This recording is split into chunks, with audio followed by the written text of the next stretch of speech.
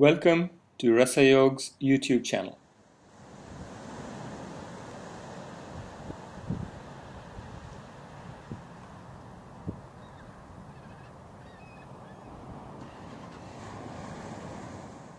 In Russa Yoga, all trajectories are done at four levels precision, dance, ritual, and worship. Guard posture or Rakshak Asana in its various forms offers an excellent opportunity to express our confidence as well as test our musculature, balance, and flexibility. Here we examine the guard at precision level. One common error is to lean forward while raising the knee. Try to keep the torso tall. With confidence and without leaning forward, encircle the knee with your hands. The common error is to hunch the shoulders and strain the neck. Try to relax the neck, keep the shoulders down and broad. Until your balance is improved, you may consider leaning your back against a wall. Eventually, your flexibility and balance will improve. Begin in mountain pose, Tadasana. Raise the arms, interlace the fingers, forming a powerful circle of strength across the heart. Shoulders are broad, throat is open, balance on one foot. Fix your gaze and raise the other knee high. With confidence and without leaning forward, encircle the knee with your hands. With strength, pull the knee up.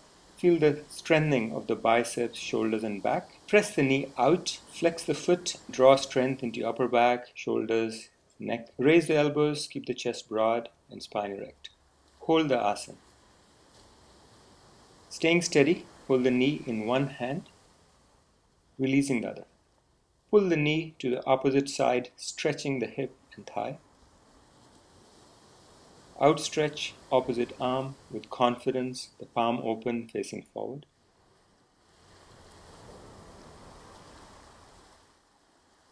Then stretch the outstretched arm up from horizontal to vertical position, reaching to the sky. Staying steady, take hold of the knee with the other hand and pull the knee to the side, opening the second chakra, that is the groin region or Swadhisthana. The opposite arm is now stretched horizontally, palm open, facing forward, then reach the arm up to the sky. Hold the asana.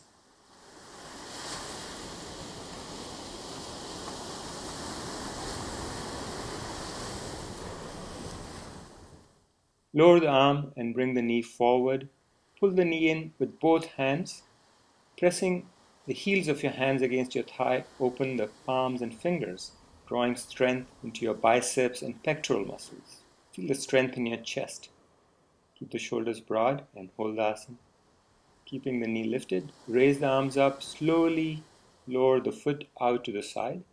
Taking a wide stance, release by swaying, stretching like an elephant swaying its trunk.